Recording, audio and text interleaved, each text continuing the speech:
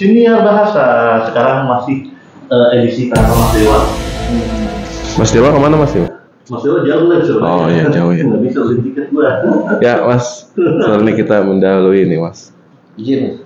Dan oh iya guys, Eh, jadi eh, edisinya edisi ngobrol-ngobrol masih sama pelaku industri. Ya, nanti kita kenalan. Eh, saya ditemani sama Mas Dimas. Dimas Prima. Jauh banget, Bray. Oh Dimas. Dimas Rangga Wicaksono.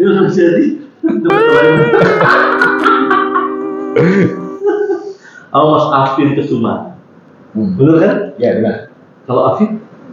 Akhir Kusuma juga. Oh iya. Ya Alvin Kusuma yang sama. Dia Afin, nggak ada L. Oh iya. Alvin Kesuma. Bener juga. Alvin. Taufik. Alvin. Alvin Taufik.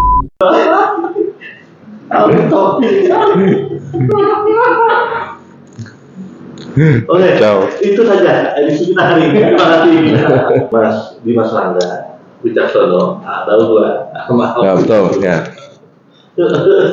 nah, mungkin ini kan eh, Mas Dimas kenalin dikit eh, Mas Dimas belakangnya apa sama pertama kali kenal sama dunia interpreting atau translation itu gimana? Iya, latar belakang gimana Mas ini, Bray? Enggak lu kayak misalnya lu kuliah tuh jurusan Oh. apa? Terus lagi aja lu pokoknya dulu kehidupan lu ketika lu lahir gitu ya. Sampai lu pokoknya pertama kali kenal sama dunia ini gimana? Oke, ya. eh, jadi kalau background sih ya dulu S1 sih manajemen ya, terus baru setelah berapa lama ambil S2 lagi itu baru eh, bahasa Inggris. Dan kalau ya sebenarnya sih kalau latar belakang pendidikan kayaknya agak kurang nyambung saya sama, sama pekerjaan kita sekarang. Dan awal kita awal saya bisa masuk ke penerjemahan itu sebenarnya dari pekerjaan pertama saya. Sebenarnya bukan pekerjaan pertama sih, tapi pekerjaan kantoran pertama saya. Saya sebelumnya saya bukan kantoran. Oke. nah itu saya pertama kali kerja kantoran itu ya ternyata uh, waktu itu project G2G antara pemerintah Indonesia dengan pemerintah Korea dan kebetulan situ saya diminta untuk menjadi penerjemah uh, dokumen dan juga uh, juru bahasa untuk rapat-rapat mereka. Seperti itu. Dulu gue belum tahu tuh Bray. Kalau itu ternyata interpreting. Seperti itu. Ngomong, maksudnya lu ngomong. iya konsep. Oh, konsep. konsep waktu itu. Gue nggak tahu tuh itu interpreting ada konsep. Gue itu gue menulis catatan juga bikin note taking juga Eh, bikin iya no- eh, note taking juga buat buat konsep. Tapi gue gua nggak gua nggak tahu itu tekniknya. Jadi gue logika aja gitu bahwa gue perlu nulis nih. Lu cepet lalu. nulis cepet seperti itu inti intinya aja gitu kan. Lalu seperti itu. gue terjemahin konsep waktu itu. Seperti itu dan mulai dari situ ya itu kurang lebih enam tahun tujuh tahun di project itu Eh, memang nggak melulu translation tapi eh, mostly itu translation seperti itu. Eh, dokumen Eh, dan kemudian gue resign 2014 Eh, setelah itu lebih fokus ke penerjemahannya dan interpretingnya rehat dulu waktu itu Oke, lu nggak nggak interpret dulu lah. Nggak interpreting dulu Iya. karena fokus uh, untuk itu kerjaan yang lain dulu dan translation sebagai uh, freelancer waktu itu. Freelancer translation. Uh, waktu itu uh, artikel terus dari LSM juga laporan-laporan studi mereka Begitu. kayak gitu. Dan uh, ya macam-macam sih. Terus ada juga dari berita juga dari agensi berita Malaysia waktu itu juga ada seperti itu. Dan Terus? ya terus terus berlanjut ya kita kan ketemu tuh Bray Uh, tahun berapa ya kita ketemu lagi tuh ya? 2018 kali ya. Oke. Ya, lah itu. temuan lagi tuh kan. Berarti pas kita ketemu tuh udah udah udah sempet pengalaman. udah nah, Macem. udah alhamdulillah udah ada udah. Gue itu gue kerja pertama itu tahun 2008 Bray. jadi gue effectively sebenarnya mulai translation interpreting itu 2008 sebenarnya. Oh, iya gitu. Cuman apa sampai 2014 gue rahat dulu interpretingnya gitu. Dan baru gue baru mulai lagi tahun kemarin interpretingnya kan setelah gue ikut trifecta Tapi Indomie. Lu kan tuh 2008 kan? terus lu untuk ber- nggak kerja dulu apa karena eh, duitnya kurang pemasukan kurang jadi memilih kantoran. Karena gue juga gitu dulu gue nggak tahu jalan dulu kan? Gue mau lighting gue sampingan di sampingan. Tapi gue ngambil kerjaan juga gue Hmm. kerja juga tapi emang emang begitu juga kan Iya, pertama sih ya jadwal ya. Soalnya kalau interpreting kan kita harus uh, s- standby full day kan. Berarti gue kalau ada kerjaan gue harus iya seperti ya cuti gitu kan. Itu lebih ke situnya sih. Dan gue melihat fleksibilitas untuk translation kayak gitu. Dan pada waktu itu ya, gue lebih suka di belakang layar ceritanya. Seperti itu. Belum se narsis sekarang lah ya. Iya, Seperti itu. Sampai sekarang ya Nah, nih Marvin. Tuh, makin gak proper aja Guys, good. Kebetulan loh ya. Di interview sama bos. bos Jadi, gimana ya kalau latar belakang pendidikan, insya Allah sih eh, apa ya Lulus nih, ini sih. mem- memenuhi lah gitu ya. Jadi masih cocok, masih cocok. Jadi lu masuk di Eh, sastra. sastra Inggris yang S2-nya itu linguistik. Gitu. Oh, Hmm. linear. Linear, linear. Nah, terus habis itu habis itu masuk ke penerjemahan dulu sih sebetulnya. Kayaknya setiap orang ya, ya. Setiap orang kayaknya dari penerjemahan dulu nggak tahu juga sih. Ya, dokumen dan yang memberikan kepercayaan pertama adalah Bapak ini. Oh iya bang iya bang. Iya, Jadi lu komersial pertama kali tuh sama dari gua. sama Om Sony Oh. ya. Heeh. Jadi eh, masih Untung udah jago dia. Untung linear. masih ingat filenya itu file presentasi PowerPoint dari perusahaan MCK mungkin pada tahu ya MCK ya Oke oke. nah terus udah gitu kan terjemahin tuh banyak. Nah, nggak terlalu banyak sorry. Jadi ada penerjemahan terus eh, kalau untuk masuk ke interpretingnya itu ya sama kayak Mas Dimas tak- sorry nggak sama persis ya kalau Mas Dimas kan dari waktu di pekerjaan awalnya gitu kan. Dia udah disuruh interpreting walau belum tahu konsepnya ya Mas ya kalau saya itu saya udah baca-baca gitu tapi ya itu teori oh Kalau baca. teori ha-ha, gitu saya bertekad gitu eh, waktu itu pokoknya kalau saya masih mau jadi dosen oh ya saya eh, dosen Dosennya nggak masuk dosen. Eh, dosen dosen dosen eh, bahasa Inggris. dosen bahasa Inggris Dosen bahasa Inggris. Cocok berarti. Ha-ha. nah itu jadi tekad saya sih waktu itu saya harus ngajar yang benar gitu loh Iya benar benar. Hmm. benar. Jadi- Berpengalaman lah harusnya. Mm, harus berpengalaman, tahu tahu dunianya gitu kan ya. Ikutlah kursus trifecta waktu itu gitu kan. Dan Kita, Bray. Eh, build in nih promosinya. Kapan lagi Bray? Build in udah. Hmm. Kita ikut. siap. Terus apa lagi? Itu sampai sekarang berarti setelah trifecta. Jadi tunggu, lu kan dosen nih. Hmm, ya, ya. Sambil dosen lu juga nerjemahin nih, Ya, ya kan? Nah, abis itu lu ikut training terus langsung apa ah, langsung coba interpreting atau sebelum training ini lu udah pernah nyoba interpreting sebelumnya? Enggak. Jadi benar-benar eh, setelah training ini baru saya berani masuk ke eh, menjadi penjuru bahasa gitu. Interpreting dan masih ingat juga pertama itu saya langsung terjun ke BAP. BAP, Hmm, polisian. kepolisian.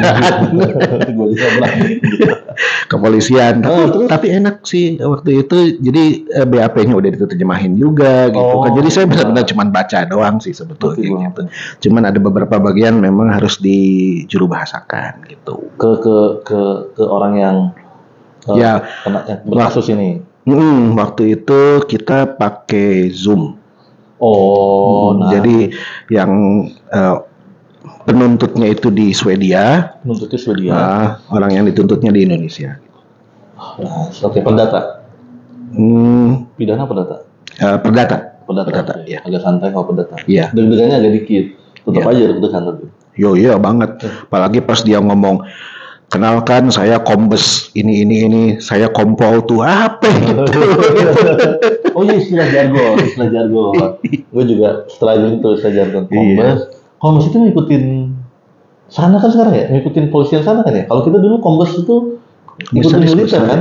Oh, salah ya. Gue lupa dah. Ya, kurang tahu juga itu. Nanti deh. Ah. Tiba-tiba akan ada slide menjelaskan. Ring, apa itu kombes? Ya, ring. Ya, Nah, hajar lah. lu kan abis itu full freelance ya. Hmm. Lu memutuskan full freelance. Kapan lu mutusin full freelance nih? Full freelance. Dan cara lu dapat klien pertama lu gimana? Ini yang nonton jadi jadi subscriber kita ada sekitar 20 juta orang. Wih, Nah, nah, 20 juta. Raffi Ahmad mah nggak ada. Raffi Ahmad. Iya. Jadi ini apa namanya? Mungkin mereka pengen tahu cara lu. Ini contohnya apa berarti kan? Cara lu dapat klien pertama kali. Klien lu yang pertama nih. Eh, apakah lewat direct client, apakah lewat agency, apa lewat temen, apa apa terus yang memutuskan oke nih kayaknya gue full time freelance. Kan freelance naik turun lah ya kan. Hmm, Gimana berarti kalau Bray? Ya, eh, pertama mungkin semua perlu proses ya, Bray. Jadi nggak bisa eh, langsung brok seperti itu aja dan kemudian memang gue sih bangun ini seperti tadi gue bilang kan udah dari 2014 itu gue freelance dan freelance itu eh, sambil kerja nggak belum full nah, masih kerja. Nah itu gue udah mulai bangun istilahnya bangun portofolio lah gitu dan mulai berjejaring gitu kan. Uh, bangun network seperti itu. Uh, dan itu agak lama tuh kan gue uh, jalankan seperti itu. Dan ketika gue memutuskan full freelance uh, itu sebenarnya sudah hasil dari bertahun-tahun gue freelance uh, membangun portofolio sama membangun network. jadi ketika gue benar-benar full time freelance ya alhamdulillah sudah ada langsung yang mempercayai seperti itu. Dan waktu itu untuk interpreting nih Bre ya. Untuk interpreting ya eh, pertama itu eh, dikasih job dari teman kita lah eh, eh, Mbak Weni itu pertama kali Mbak Weni. Sani Sari ya. Followers ya Mbak. Eh, dari Mbak Weni kebetulan itu jobnya dari teman kita juga Mas Adam. Sebenarnya jobnya Mas Adam tapi saya dapatnya dari Mbak Weni seperti itu.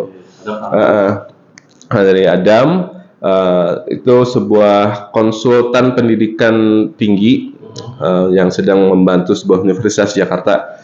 Seperti itu. Dan itu klien pertama. Dan alhamdulillah eh, itu berlanjut si klien tersebut. Mas Adam ya Mas Adam. Ya waktu itu ya dia mungkin dia ada job yang lebih eh, yang dia lebih bagus ya bentrok lah gitu. Dan dia kasih ke kami gitu seperti itu dan itu klien pertama dan alhamdulillah masih eh, sama saya sama kita sama- eh, sampai sekarang masih Lu mau dia berdua kalau lagi ini biasanya kita berdua kalau lagi ini. Anjir gua diajak. Kalau nggak ajak gua. masih kecil lah berarti Iya. Tetap gua diajak. Tapi itu cara lu jadi eh, tipsnya adalah kalau lu whenever you can, lu cari pengalaman ketika lu masih ada kerjaan atau Yes. ada kegiatan lain atau start early lah.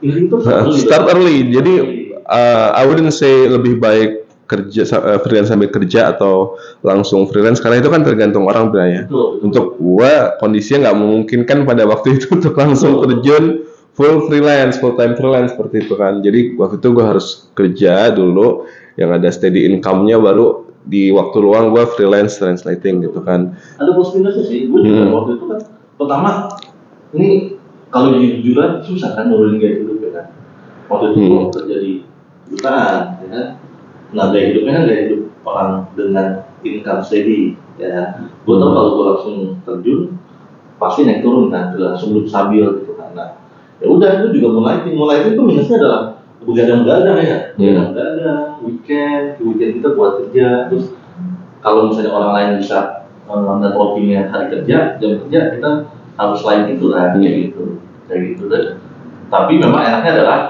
income-nya ada buffernya Hmm. di smoothing gitu ya kan kayak gitu sih dan itu Hmm. Ya dan kita namanya suami gitu ya kadang-kadang nyonya di rumah tuh kan pengennya yang sesuatu yang pasti yang steady dan ya se- tergantung orang sih Bray. Jadi kalau dia rasa dia pengen langsung full time freelance ya it's okay gitu. Cuma untuk orang yang belum nggak atau nggak bisa full time freelance itu bukan jadi alasan untuk dia nggak coba cari uh, kegiatan di Ah, waktu luangnya, cari pengalaman nih untuk dia ke depannya gitu. kalau lu gimana? Tadi pertanyaannya apa ya? Klien pertama. Yang pertama, yang pertama yang pertama sama itu. Eh, ya itu tadi klien pertama itu, oh ya cara dapetnya ya. Cara dapet yang pertama sama Cara ikutan gimana?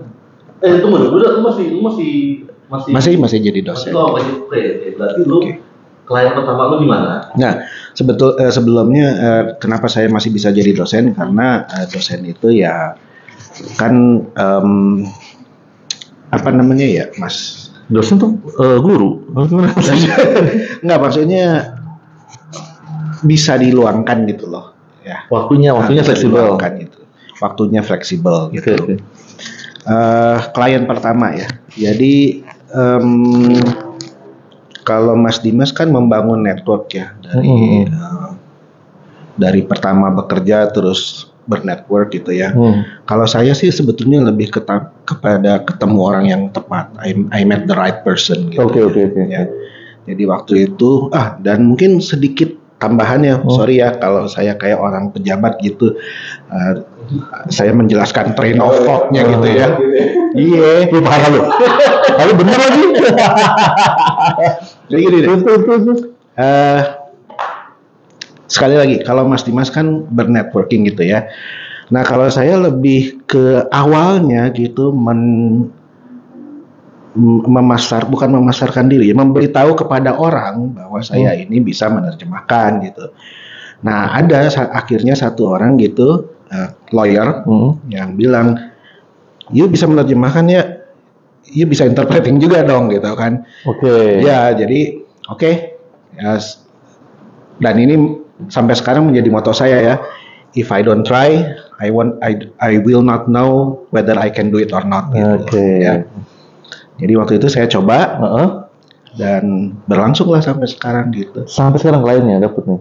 Tuh, tuh. Jadi lu while dosening gitu, dosening, mendosenkan.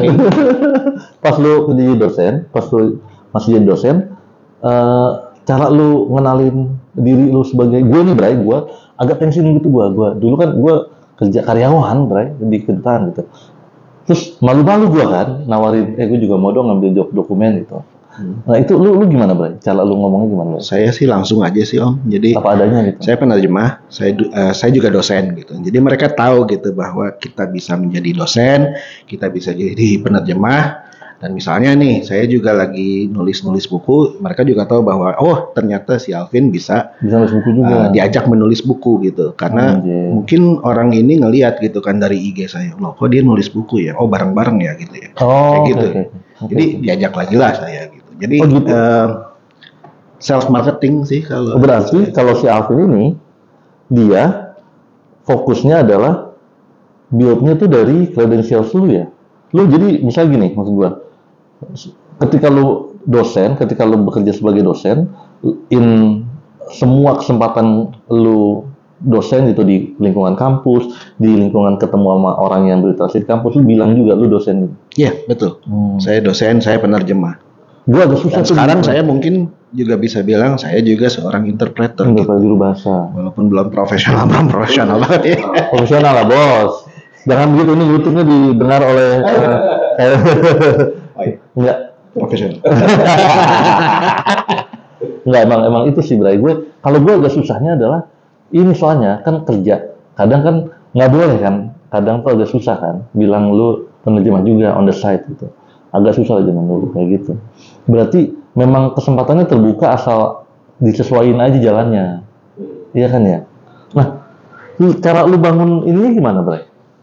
Kan sekarang tuh perkembangan banyak tuh apa namanya AI teknologi ya kan? Terus eh, anak-anak baru yang yang eh, anak muda yang pinter-pinter gitu kan. Nah ini lu dari dinamika yang ada sekarang nih eh, cara lu make sure bahwa lu still updated tuh apa pun perkembangan sekarang tuh gimana?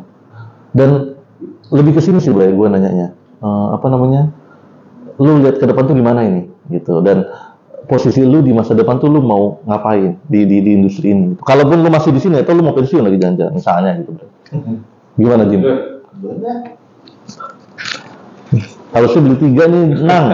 Belum mah Mike dua Ya, kalau sekarang kita ngomongin kondisi yang sekarang dulu ya. pertama kita emang harus eh, ngikutin lah perkembangannya gitu kan. Ah, Jangan Pak, ya. kita ngalamin dulu mulai eh, in- apa translating belum ada Google Translate kan, belum ada belum ada WhatsApp malah dulu ya kita awal-awal tuh masih pakai Yahoo Messenger gitu kan. Lu lu pernah pakai Trans tuh gak sih? Trans itu Anjir itu ada lama banget tuh Trans tuh namanya. dulu belum. Beli pakai CD. Hmm. Jelek banget hasilnya. Jelek banget hasilnya, tapi lu beli pakai CD harganya 400 ribu apa zaman dulu tuh ya, itu mahal banget tuh. Hmm. Trans tuh namanya. Itu kayak kayak Ketul gitu.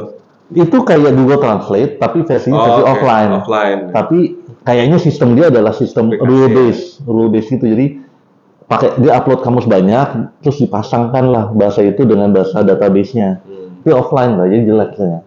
Gitu. belum belum belum. Jadi Anjir. dulu kita kamusnya dulu benar-benar uh, hard copy gitu. Iya, ya. ha. Jadi uh, benar-benar ya buka kamus zaman dulu dan benar-benar uh, mengandalkan kemampuan kita dan ya kok sekarang kita seiring jalan dan mulai ada Google Translate seperti Hmm. itu kan. Dulu Google Translate sama sekali nggak bisa diandalkan gitu kan. Sekarang dulu ya. dulu masih masih parah banget dan sekarang kita lihat bahwa Google Translate itu jika mulai improve gitu kan untuk sekarang sih gue lihat kita nggak bisa nggak bisa deny bahwa uh, udah ada teknologi itu. Wah. so either kita harus uh, adapt gitu kan atau ya I think kalau nggak kita akan wash away gitu aja gitu dan gue pilih yang pertama kalau kayak gitu How do you adapt, Bray? Maksudnya yang pertama uh, I take them as a tool gitu jadi gue lihat apa yang Oh. bisa kita pakai dari sistem ini untuk ya improve kita gitu loh dan?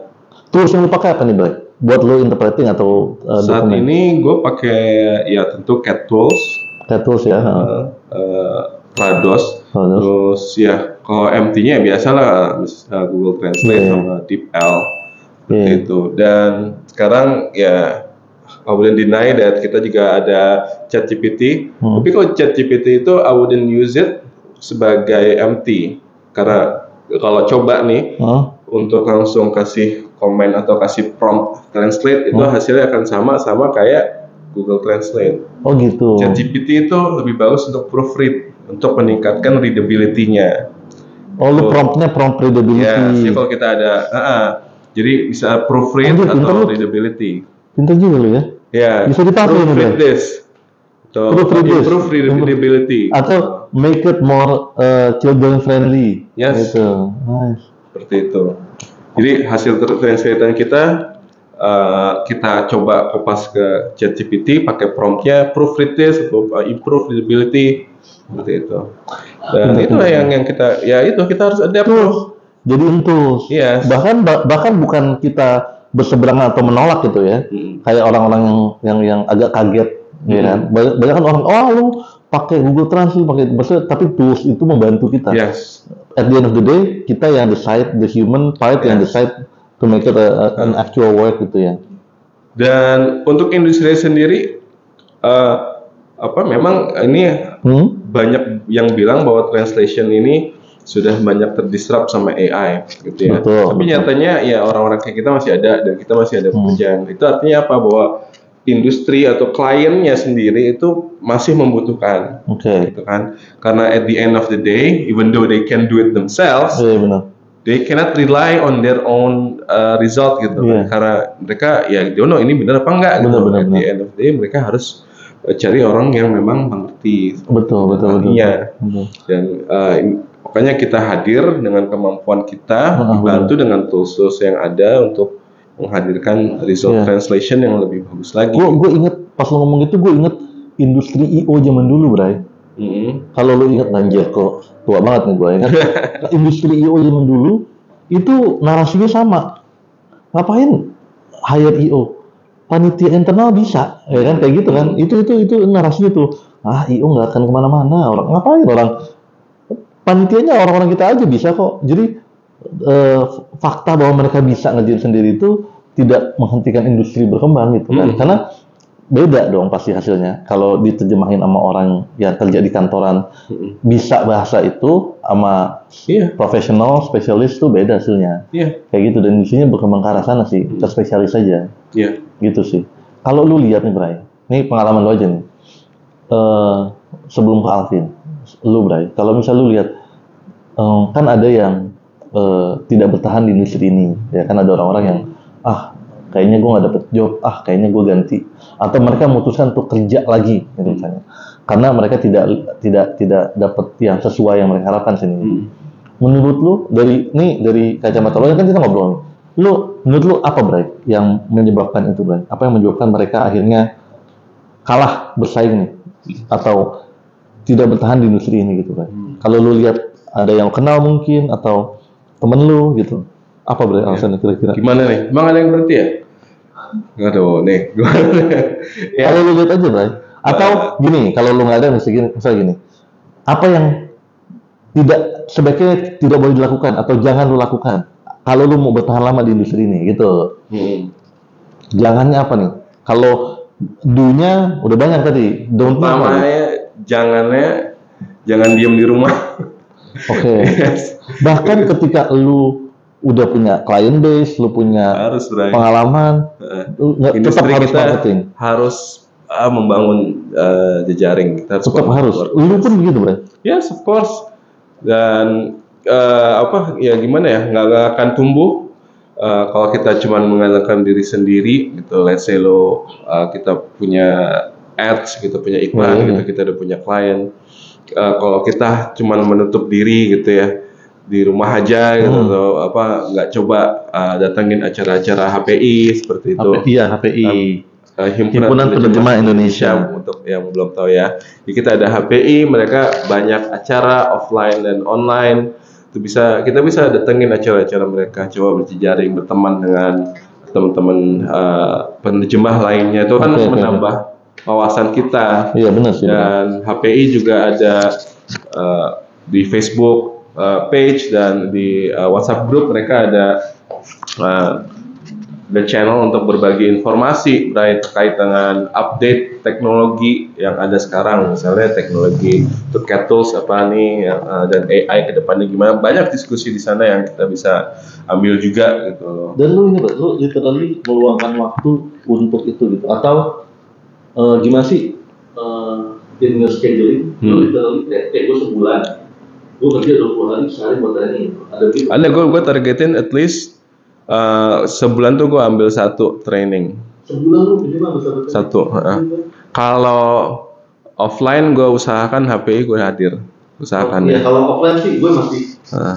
ada setengah kanan-kanan juga. ya. Iya. Kanan-kanannya. Mm-mm. Seperti itu. Jadi kita kita targetkan eh, Jadi lu literally eh, walaupun lu udah punya pengalaman, walaupun klien sudah mengakui lu bisa kerjanya gitu, lu tetap Iya. ada porsi training. ada eh, jadi harus improve ya. Sama kayak orang kerja di kantoran eh, perusahaan pasti juga pengen karyawannya yang bertumbuh gitu kan. Makanya mereka ada training mereka manggil orang dari luar atau kasih training ke eh, karyawannya gitu kan. Untuk improve dengan eh, capacity building seperti itu. Sama kita juga kalau kita kerja sendiri lebih-lebih perlunya gitu. Iya sih, gitu kita aja di dalam perusahaan banyak yang banyak support system yang mesti harus tumbuh gitu kan apalagi kita yang kerja sendiri gitu kan Hmm. gitu itu itu Lu- Coba lu, lu kan dosen, ya. Maksud gue, Alvin ini langsung eh, apa pengalamannya langsung di dunia sastra di dunia bahasa nih, ya kan? Pengalaman lu nih dari lu ngajar, dari lu ngambil dokumen. Nah, lu kan berarti melihat industri dari dekat nih, dari posisi pengajarnya akademisi sama posisi eh, pelaku usaha nih, ya? Hmm. profesional atau pelaku usaha. Profesional ya kan? Penerjemah juru bahasa ini. Nah lu melihat perkembangan industri ini gimana? Nah, dari eh, dari sudut pandang lu yang dua dua dua dua topik ini. Oke. gitu. Nah terus ke depannya prediksi lu gimana ke depan ini? Ya. dan yang bertahan ini profil juru bahasa sama penerjemah ini profilnya kayak gimana? Menurut lu lu punya pengalaman Lu punya kuasa. iya. Lu punya pengalaman karena lu lihat kan lu kan ngajar-ngajar anak anak murid kan? Dia ngajar anak murid ya kan? Lu punya kuasa ya lulus nggak lulus? Nggak. Lulus lu punya lu melihat ya? Kan oh eh, yang baru-baru ini begini gitu. Kayaknya nah lu bisa ngeliat ya lu bisa identifikasi nggak? Kira-kira trade gitu ya yang akan berhasil di industri ini kayak gimana? Eh, dari segi ini dulu kali ya apa? Namanya? Sebagai akademisi lah tanda kutip dan sebagai praktisi. Karena kebetulan saya dikasih uh, berkah gitu ya untuk menjadi keduanya gitu ya. Yang saya lihat sih uh, yang paling utama yang mengkhawatirkan gitu ya adalah uh, saya nggak tahu di kampus lain gitu ya, tapi uh, di beberapa kampus saya lihat nggak ada hubungan gitu antara apa yang diajarkan dengan di oh sorry di kampus dengan apa yang terjadi di um, di kenyataannya gitu. Agak jauh sih. Agak jauh gitu. Jadi barusan kita ngobrol ya Mas ya. Um, jadi ada beberapa kampus yang memang penerjemahnya itu lebih bersifat teori gitu. Nothing wrong with that. If you want to be a theorist, go ahead gitu loh ya.